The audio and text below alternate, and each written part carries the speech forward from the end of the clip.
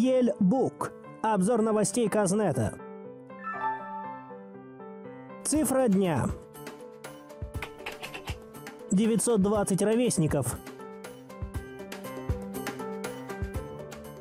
В главный праздник республики отметили свой 23-й день рождения более 900 ровесников независимости, сообщает портал vnews.kz. По данным Комитета по статистике Министерства национальной экономики республики, в Казахстане проживают 920 ровесников независимости, из них 446 парней и 474 девушек. Большое число ровесников независимости проживает в Южно-Казахстанской области. Это 148 человек. На втором месте Алматинская область с 84 сверстниками независимости. И на третьем месте Карагандинская и Восточно-Казахстанская область. В Алматы проживают 65 ровесников независимости, а в столице 62. Новость дня.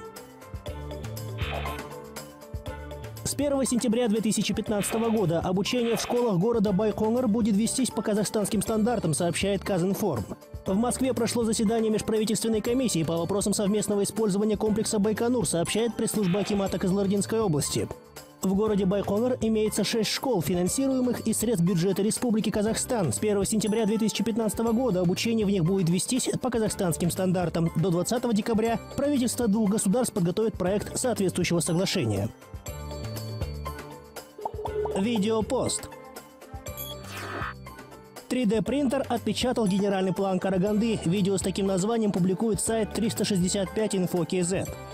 Инженеры Караганды уменьшили свой город с помощью 3D-технологий. В новом 3D-макете расположились модели 184,5 существующих и проектируемых сооружений, а также дорог и других объектов городской инфраструктуры.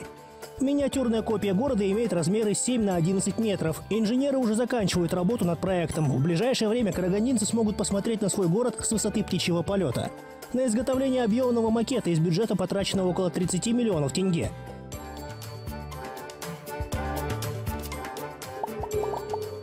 Блогинг.